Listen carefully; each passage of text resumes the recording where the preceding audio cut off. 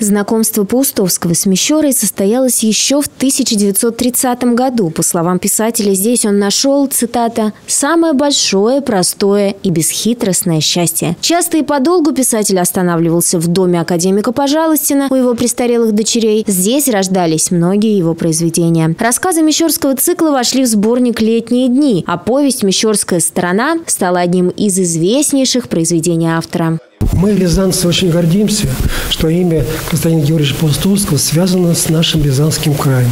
Я считаю, что два человека э, воспели э, красоты нашего Рязанского края. Сергей Есенин в стихах и Константин Георгиевич Паустовский в прозе. Знакомство с Мещерой – знаковый период в творчестве писателя. С этих пор тема природы в его произведениях становится многозначной, тяготеет к символу Родины. Образ родной земли складывается из узнаваемых простых примет действительности, неброской на первый взгляд прелести природы средней полосы, красоты и чистоты русского языка, типажей и характеров, не утерявших связь с историческим прошлым страны. На идейном уровне повесть о движении человека к духовной опоре, счастью, источнику вдохновения. Выставка, представленная Московским музеем имени Константина Паустовского, это краткий экскурс по главам повести. Мы начали мероприятие уже с самого начала, с января месяца.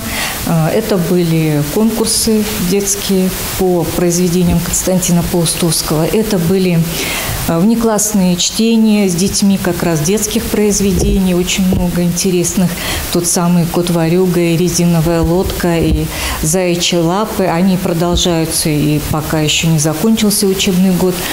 А вот э, сегодня, 26 мая, у нас открывается знаковое такое мероприятие большое. Сегодня же презентовали карту «Путеводитель Паустовский в Рязани». Здесь обозначены основные места, с которыми связано имя писателя. А у нас уже карты были посвящены Есенина, Циолковскому, Великой Отечественной войны на, на карте на, на, на нашего города. И вот сегодня с печати вышла карта, прям свеженькая, это Константин э, Георгиевич Паустовский в Рязани. Вот здесь на этой карте представлены все объекты, которые связаны с именем Паустовский. Впереди еще немало посвященных праздничной дате мероприятий. Среди них подведение итогов детского конкурса, экскурсии. Тропой Паустовского сегодня называют туристический маршрут, который ведет через луга к ближним озерам, где писатели и его друзья любили рыбачить и гулять. Первая экскурсия в этом сезоне состоится в день рождения писателя – 31 мая. Марина Романюк, Дмитрий Ефимов, телекомпания «Город».